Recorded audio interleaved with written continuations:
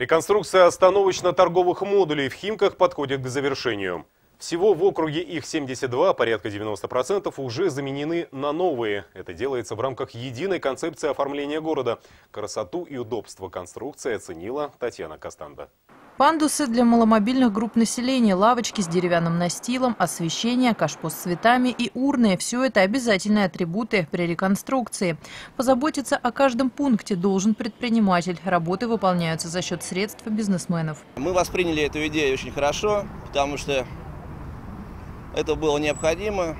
Вот, э, да, были, конечно, связаны затраты, вот, но как бы есть определенные компании, которые тоже были заинтересованы нас проинвестировать. Э, вот, и поэтому, э, в общем-то, уже на сегодня все трудности позади. Дизайн отличный, да, Европа, аквариум.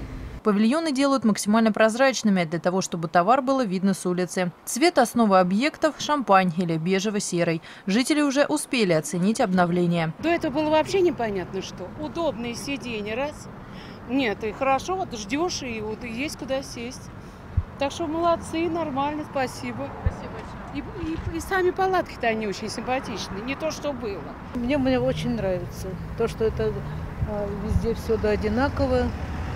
Это вообще впечатляет. И, конечно, рада за то, что у нас происходит в городе. Получше стало. И продукты, наверное, как-то выглядят получше.